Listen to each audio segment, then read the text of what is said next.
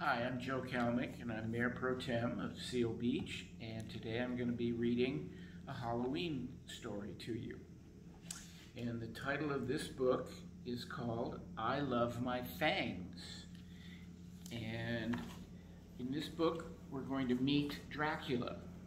And he has two pointy, beautiful fangs. He brushes and flosses them every day. After all, they're a family trait. But what happens when one fang begins to wiggle?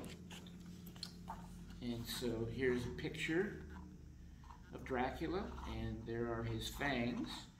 And the book is written by Kelly Leigh Miller. And there he is again, with his mouth closed, but you can still see his fangs.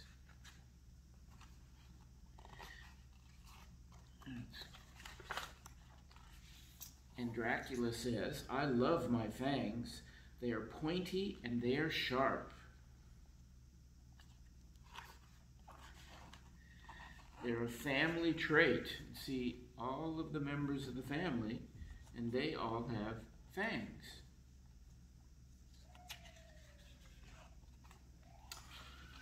Good care is important. And you can see that there he is brushing his fangs and flossing his fangs. And mom and dad are very proud of his fangs. And he says, My fangs are very special. Where you see other kids are eating, and now he's got his juice box, and he just pokes a hole in it with his fangs. But uh oh, what's going on? One of his fangs isn't straight anymore. And he said, I can just push it back in.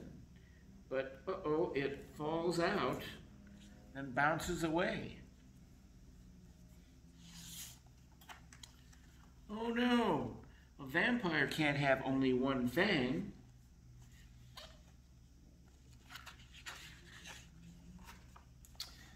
Well, what if I tape it? Or what if I tie it? Or what if I stick it? Get some bubble gum and stick it on. No one could possibly notice, but then there's all of his friends and they're all laughing because it fell out and it bounced away again. So the bubble gum didn't work. Now here he is all alone in his bedroom in his coffin. And he says, I'm never coming out again. Now he's asleep in his room with all his toys. And, oh, who's coming here? He said, my fang is gone because someone has come and taken his fang.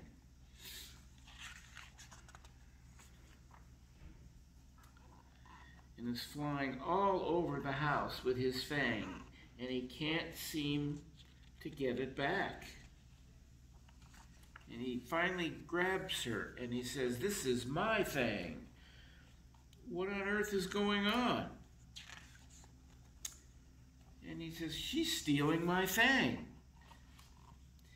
And then his mom and dad come in and say, Silly Dracula, she's the tooth fairy. It's her job. She takes your baby teeth so you can grow strong adult teeth. But this one is mine. I don't want to give it up, he says. And the tooth fairy is sad also. Well, maybe you do need it more. One fang is better than none. And so he's asleep, and there's one fang, and he's still asleep, and oh, there's a little something coming out on this side. And there you go. He's got two fangs again. Look at my new fangs.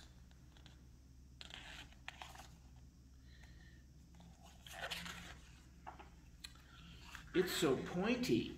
It's so sharp. And he's so happy because he's just dancing around.